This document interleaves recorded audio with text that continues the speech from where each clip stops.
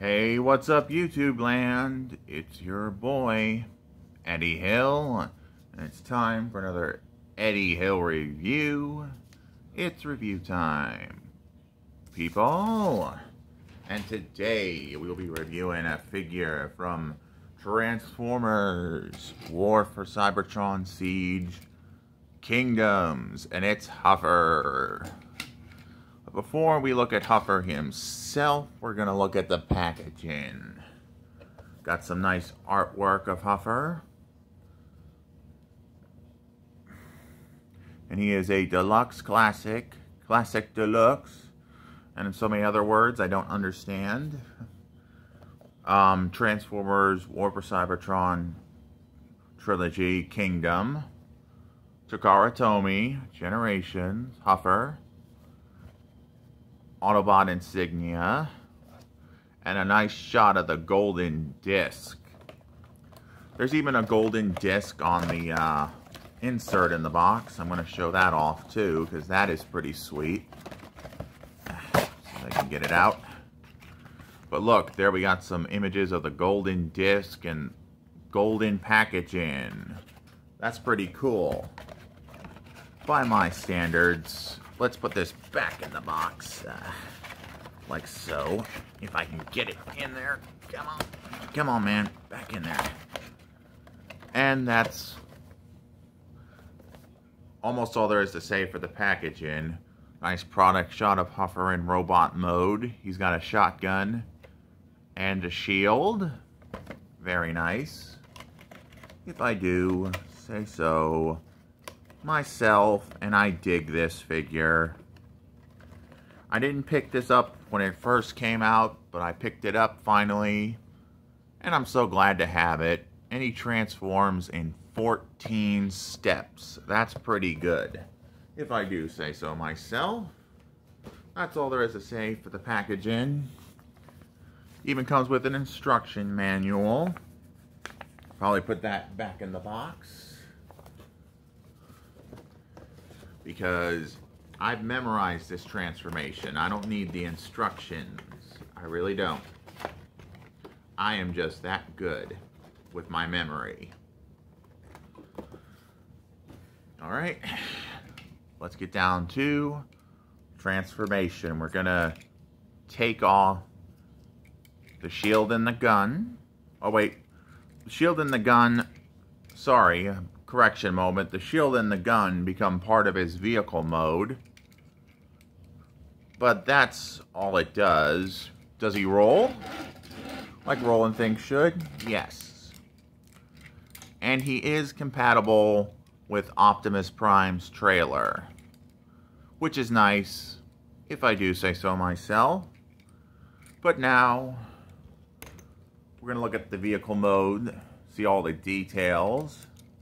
And the details are very nice. I love it. Looking really nice. I just dig it. But that's all there is to say for the vehicle mode. It looks just like the G1 vehicle mode for Huffer. But now we're going to get down to transformation. First, we're going to lower the legs down. Flip these panels down. Split the legs. Now we're going to work on the uh, cab section. We're going to pull this up, rotate the wheels in, accordion the arms up, connect the backpack. Sometimes it comes loose if you're not careful. And straighten out the arms. And it looks pretty cool. Looks like he stepped right out of the G1 cartoon. It, it was way before my time, but I absolutely dig this Huffer.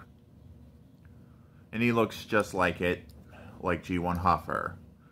I probably got the uh, G1, I got the G1 series on DVD. Sorry if I had to correct it. Because I watched originally a VHS tape back in the mid-2000s. But I love this Huffer. He's my favorite. But now we're going to give him his weapon. His weapon and his shield. This arm holds the gun. Go pew pew, bang bang with that. And he gets an arm shield. That is pretty awesome. If I do say so myself. But why did they have to give him an arm shield? What is he supposed to be? Huff America? That's a joke to my uh, YouTube fans because they literally gave him a shield. What's a ripoff of Captain America's shield, almost. and the shield has these claws, so you'd be like, sort of like Wolverine claws? He supposed to be, Wolverine? Couple Marvel jokes, couldn't help it. Is he worth adding to your collection if you're a Transformers enthusiast. Yes, War for Cybertron's Kingdom nailed Huffer.